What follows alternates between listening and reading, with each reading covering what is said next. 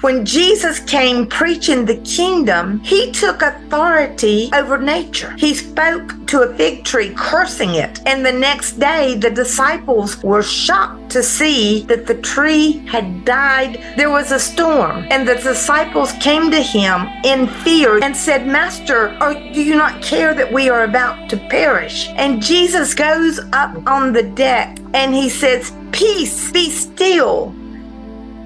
He speaks the authority of heaven, of God, over the anarchy and the chaos that was causing the sea to be tumultuous.